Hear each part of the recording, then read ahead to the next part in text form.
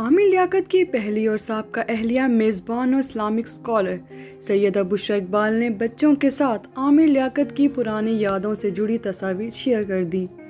सैयद बुशरा इकबाल ने अपने social media account Instagram पर अपने बच्चों की आमिर लियाकत के हमरा तस्वीरें शेयर की। कैप्शन में बुशरा इकबाल का कहना था कि, अल्हम्दुलिल्लाह, या रब।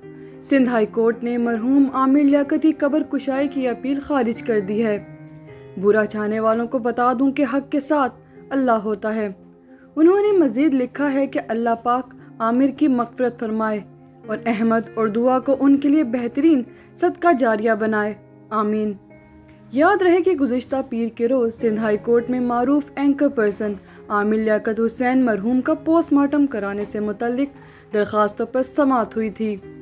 आमिर लियाकत की सबका अहलिया दानिया शाह की जानब से भी दरख्वास्त दायर की गई थी। क्योंकि दानिया शाह ने आमिर लियाकत हुसैन के पोस्टमार्टम कराने की हिमायत की थी। दानिया इद्दत में होने की वजह से अदालत नहीं आ सकी, लेकिन कमरा अदालत में दानिया की माँ मौजूद थी।